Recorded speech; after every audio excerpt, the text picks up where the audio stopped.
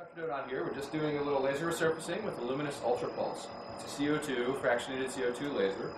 And uh, this patient is mainly concerned uh, is mainly concerned about the perioral lines, so around the mouth.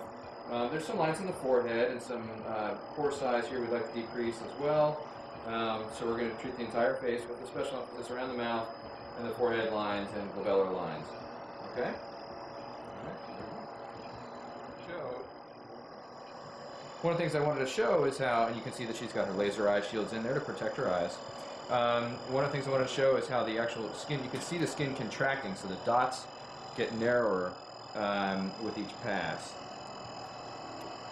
So as it goes down, watch the skin contract, and you can see it tightening right before your eyes. Okay, ready? One, two, three.